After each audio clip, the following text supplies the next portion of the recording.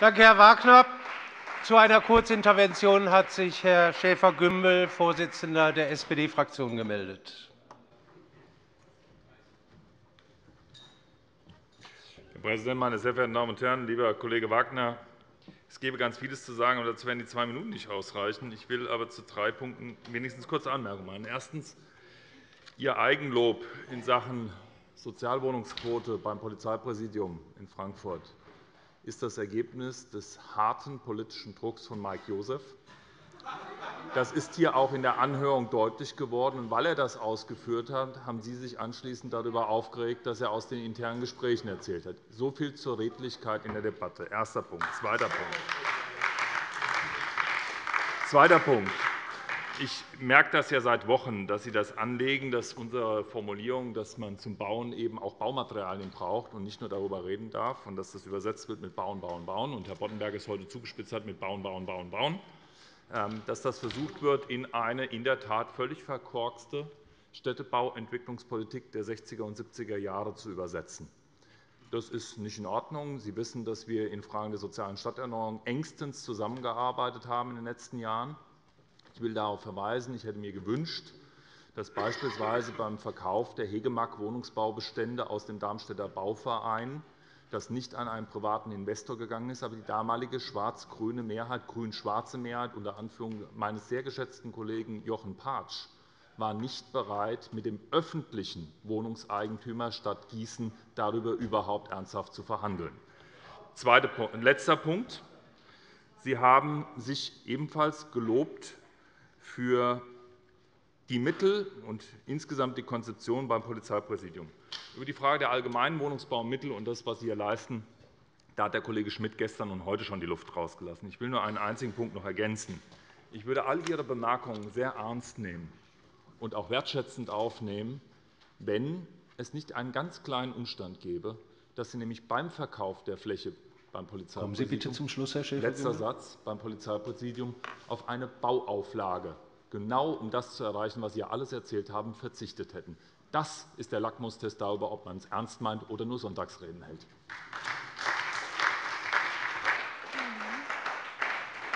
Danke, Herr Schäfer-Gümbel. Herr Wagner, Sie haben Gelegenheit zur Antwort.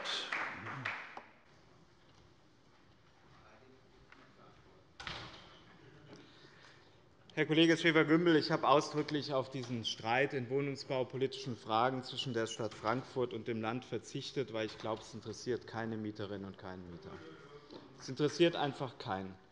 Im Ergebnis haben wir beim Verkauf des Polizeipräsidiums Frankfurt das realisiert, was die Stadt Frankfurt mit der Mehrheit aus CDU, SPD und GRÜNEN gewollt hat. Wir sind dabei nicht stehen geblieben, sondern wir nutzen die Verkaufserlöse, um noch einmal deutlich mehr für den Wohnungsbau zu machen. Es ist ein besseres Ergebnis, als es jemals vorher von irgendwem gefordert wird. Können wir uns darauf wenigstens einmal einigen? Und meine Sorge, dass Ihre Politik aus Glas, Beton und Stahl wieder in die Fehler der 70er Jahre führt, ist aus meiner Sicht nicht unbegründet.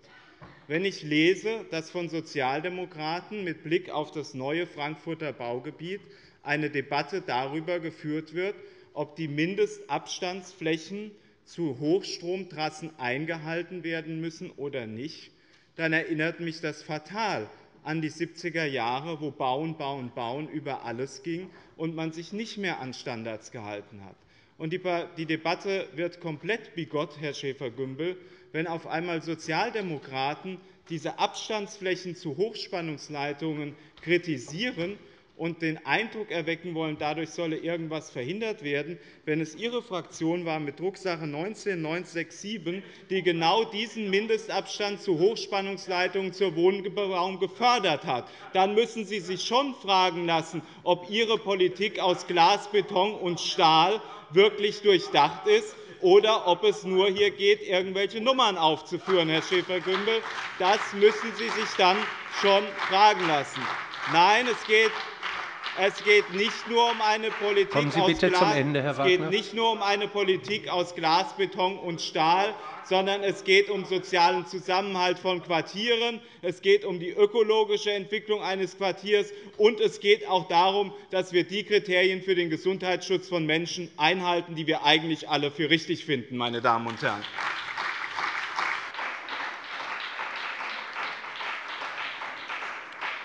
Danke, Herr Wagner. Nun hat Herr Lenders für die FDP-Fraktion das Wort.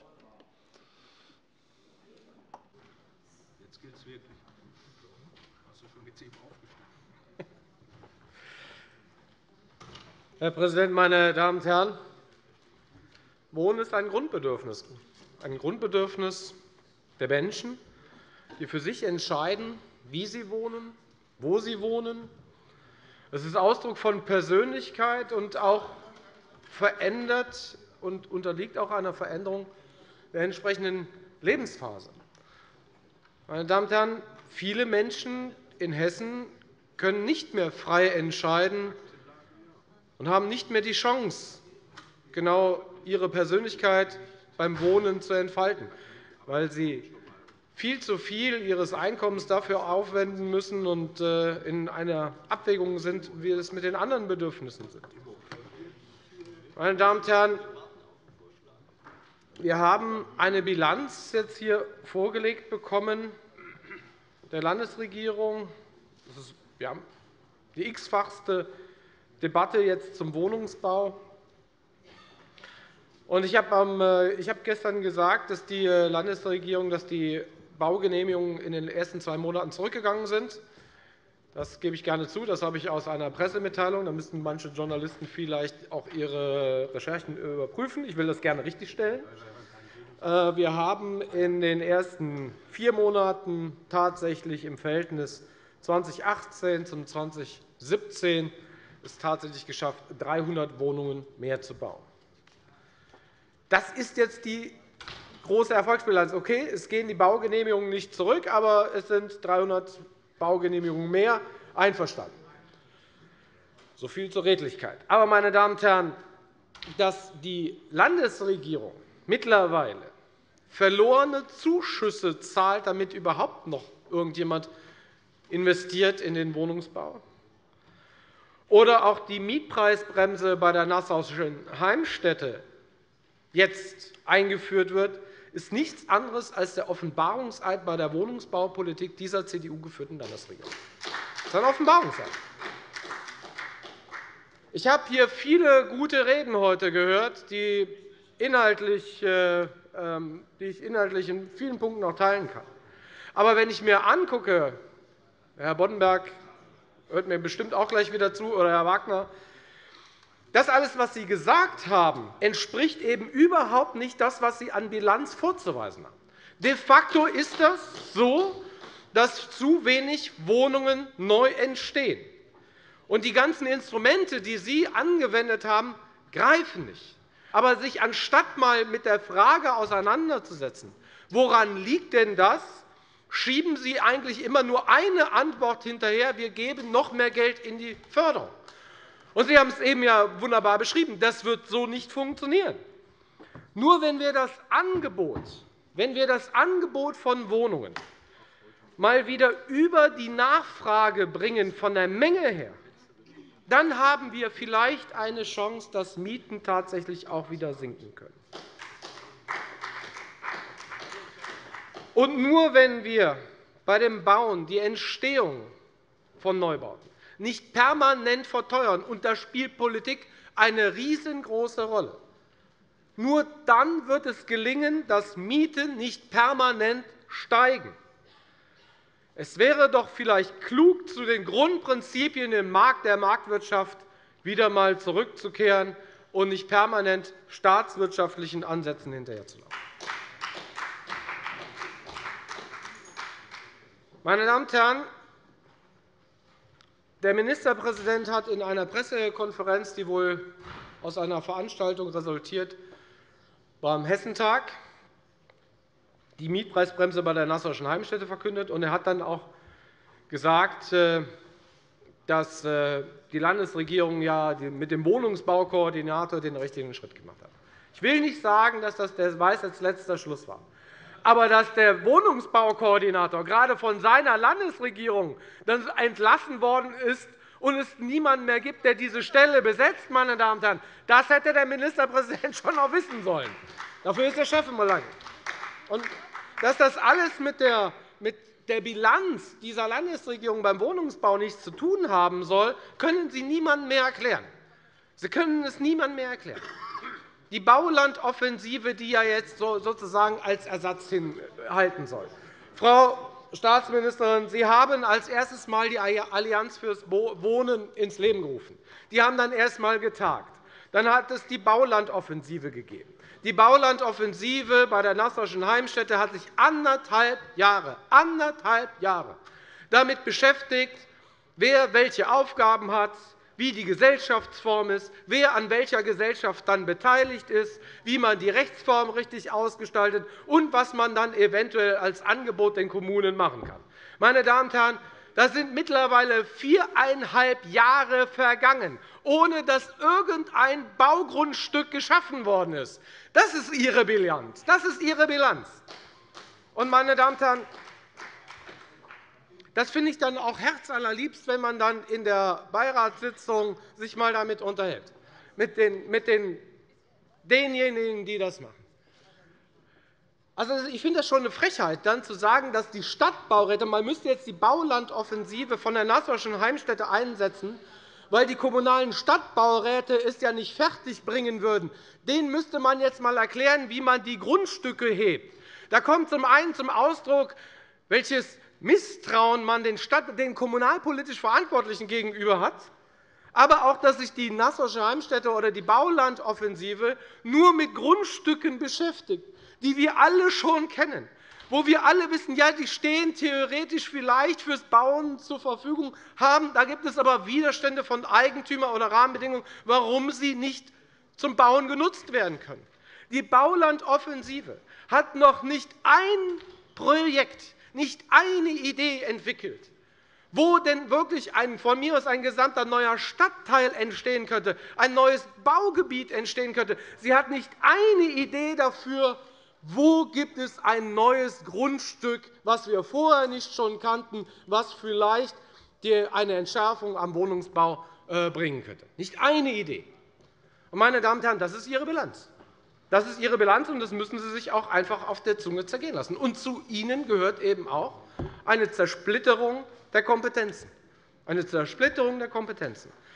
Die Kompetenzen, was die Landesentwicklung anbelangt, wir hatten gerade die Anhörung zum Landesentwicklungsplan, da wird das sehr deutlich, dieses Auseinanderfallen der Kompetenzen bei der Bauordnung, bei der Städtebauförderung oder beim Wohnungsbau. Meine Damen und Herren, die Forderung nach einem Bauministerium ist richtig, damit diese Kompetenzen wieder zusammengeführt werden, damit man das wieder einheitlich denkt und nicht aus der Sicht eines Umweltministeriums versucht, hier im Grunde wirtschaftspolitisch, infrastrukturpolitisch, Wohnungsbaupolitik zu treiben. Meine Damen und Herren, das ist einfach ein Auseinanderfallen der Kompetenzen, und Ihre Bilanz ist ein Ergebnis davon.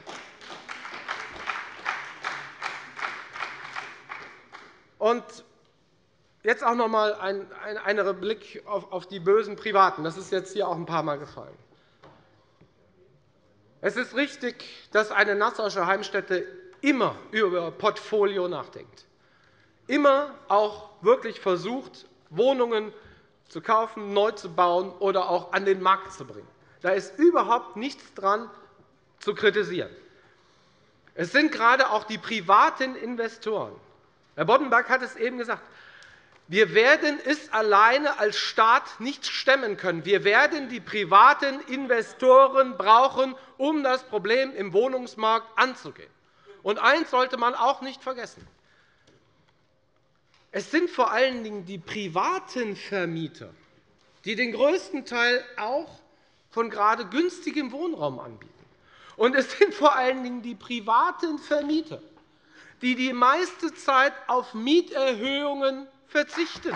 Es sind die Privaten, die darauf verzichten, über Jahre hinweg weil sie zufrieden sind, wenn sie einen guten Mieter haben, der pünktlich seine Miete zahlt, und dann haben sie ein vernünftiges Verhältnis miteinander.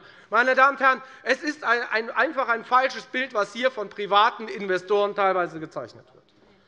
Und dass wir, ich will das zum Schluss jetzt auch noch einmal kurz sagen, ja, wir haben einen Interessenskonflikt. Wir haben einen Interessenskonflikt, wenn wir uns über den Wohnungsbau unterhalten. Da gibt es landwirtschaftliche Flächen, die verloren gehen. Da gibt es Gewerbegebiete, die vielleicht nicht mehr wachsen können oder nicht mehr ausgewiesen werden können. Es gibt das Problem der Flächenversiegelung und der fehlenden Infrastruktur. Es gibt das Problem der Abstandsregelung. Aber, meine Damen und Herren, nur weil mir jetzt einmal eine Abstandsregelung nicht passt, kann ich es natürlich nicht immer wieder die Rahmenbedingungen verändern wollen. Das funktioniert nicht. Herr Wagner, das gilt aber auch für die GRÜNEN an anderer Stelle. Das gilt für die GRÜNEN auch an anderer Stelle. Herr Lenders, kommen Sie zum Schluss. Ich komme, ich komme zum Schluss. Meine Damen und Herren, ich glaube, dass wir das Problem tatsächlich nur lösen werden, wenn wir neu bauen und gerade bei den Interessenskonflikten, die es ohne Zweifel gibt, dem Wohnungsbau dann aber eine Priorität einräumen. Vielen Dank für Ihre Aufmerksamkeit. Danke, Herr Lenders. Für die Landesregierung spricht nun Staatsministerin Hinz. Herr Präsident, meine Damen und Herren! Ich will auch kurz den Blick in die Vergangenheit richten, weil der Fraktionsvorsitzende der SPD das ja sozusagen zum Anker gemacht hat äh, seiner Rede und äh, des Antrags der SPD. Da möchte ich einmal darauf eingehen, welche Bevölkerungsvoraussagen es, welche Bevölkerungsvoraussagen es gab im letzten Jahrzehnt. Äh, und den Abschlussbericht aus dem Jahr 2007 der Enquete-Kommission Demografischer Wandel dieses Landtages zitieren. Haben übrigens alle mitgearbeitet hier aus dem Landtag, alle Fraktionen. Wir werden weniger, heißt es da. Die hessische Bevölkerung wird entsprechend der Schätzung der mittleren Variante des Hessischen Statistischen Landesamts bis 2020 noch um etwa 32.000 Personen wachsen. Danach wird die Bevölkerung in Hessen bis 2050 um rund 600.000 Personen zurückgehen. Das war allgemeine Prognose für Hessen, an der sich natürlich auch Fraktionen in der Politik orientiert haben. Und die Handlungsempfehlung der SPD-Fraktion im Hessischen Landtag zum Thema Wohnen im Jahr 2007 war, bei allen Planungen müssen die Grundsätze Umbau vor Neubau bzw. Umgestaltung vorhandener Siedlungen vor Ausweisung neuer Siedlungsflächen beachtet werden, aufgrund dieser Bevölkerungsprognose. So, das war der Stand von damals, und danach wurde natürlich auch die öffentliche Wohnungspolitik ausgerichtet.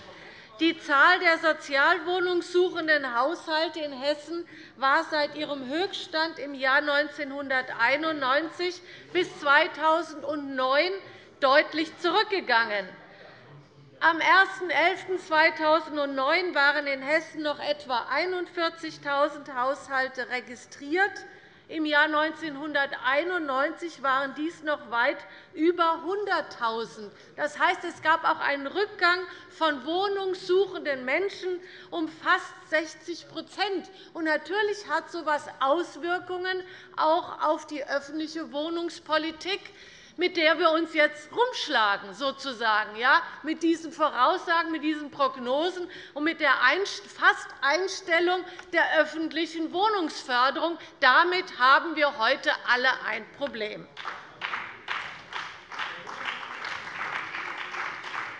wir haben jetzt auch einmal ähm, durchforstet ähm, das äh, Archiv des Landtages. Es ist aus dieser Zeit auch kein Antrag von der SPD bekannt, Aufbau von mehr Sozialwohnungen. Deswegen finde ich, gehört es zur Redlichkeit dazu, dass man sagen muss, okay, wir haben uns damals alle darauf ausgerichtet, dass wir weniger sozial geförderten Wohnungsbau brauchen.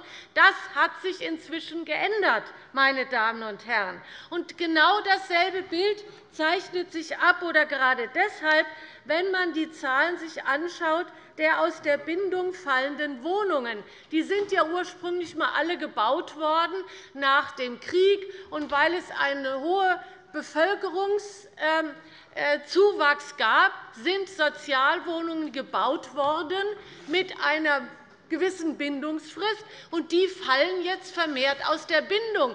man hat ab dem Jahr 1995 2000 nicht mehr nachgearbeitet, weil alle davon ausgegangen sind, wir werden weniger. Es gibt weniger Kinder, es gibt quasi keinen Zuzug. Wir werden weniger. Und das Auslaufen der Bindungen ist kein hessisches Problem. Das will ich ausdrücklich deutlich machen. In der Tat ist es so, dass in Hessen in den letzten zehn Jahren, nämlich zwischen 2007 und 2016, 26,9% der Sozialwohnungen aus der Bindung fallen oder gefallen sind. Das ist bitter, keine Frage aber in Brandenburg waren es im gleichen Zeitraum gar 46% in Berlin ebenfalls deutlich mehr als in Hessen, nämlich 36 und auch im Land Nordrhein-Westfalen, der sogenannten Herzkammer der Sozialdemokratie, waren es zwischen 2006 und 2015 37% meine Damen und Herren. Wir haben überall bundesweit mit diesem Problem zu kämpfen. Deswegen gilt es jetzt, eine Aufholjagd zu organisieren. Und wir sind also na ja, wir können uns ja gerne an den Statistiken weiterhangeln, weil sie sind ja so fixiert auch auf die Frage, wer ist jetzt eigentlich, äh, wer hat was versäumt und so weiter. Wir haben, wir haben ja nicht nur Belegungsrechte gesichert mit neuen Programmen in den letzten Jahren, sondern wir liegen bereits 2016 auf Platz 3 der Länder, die sozialen Wohnungsbau schaffen, ausweichlich eine Antwort der Bundesregierung auf eine Kleine Anfrage. Ich weiß jetzt nur nicht mehr genau, welche äh, äh, welche Fraktion es war, aber ich kann Ihnen auch die Drucksachennummer nachher nachliefern. Meine Damen und Herren. Wir sind also gut unterwegs.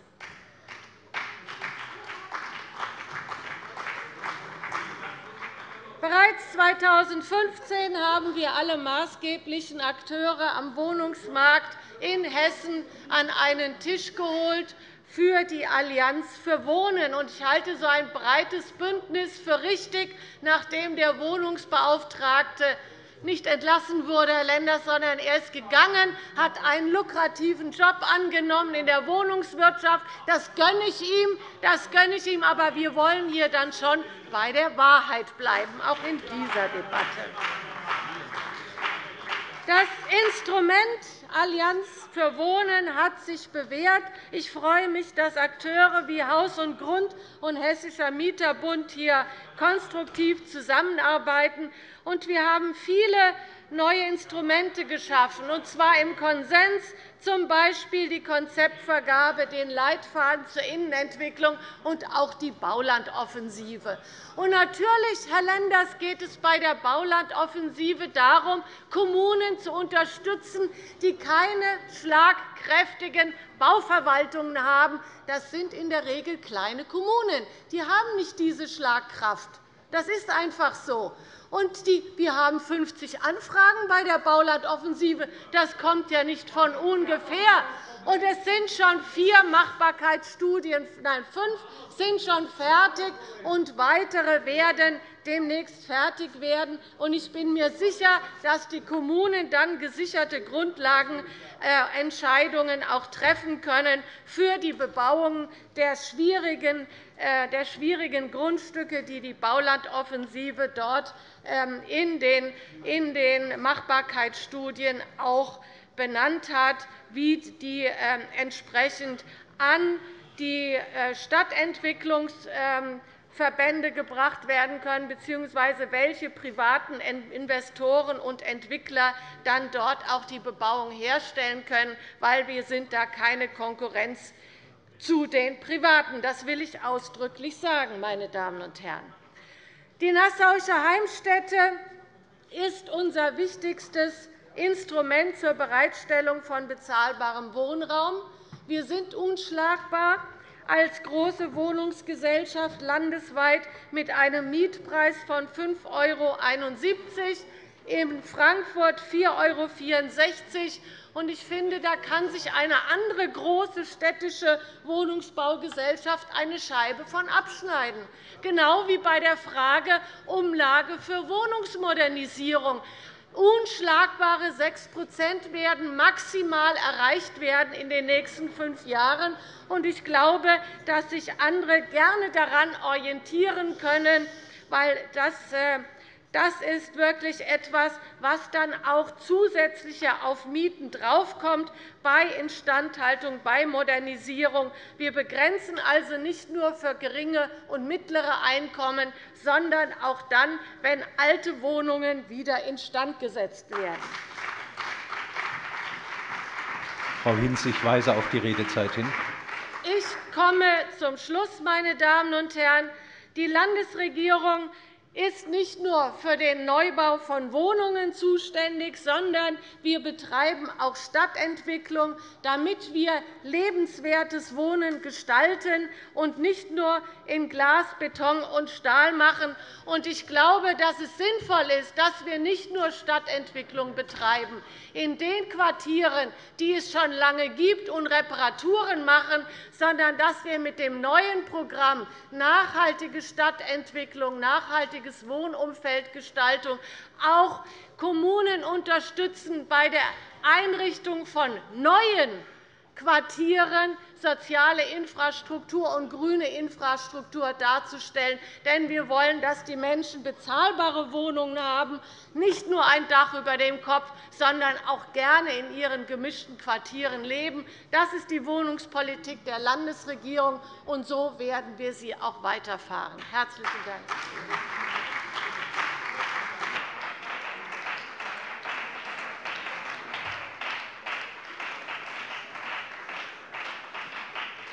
Danke, Frau Ministerin. Wir sind am Ende der Aussprache zu diesen Tagesordnungspunkten angelangt. Uns haben jetzt mehrfach Hinweise erreicht, dass wir beide Anträge in den Ausschuss überweisen.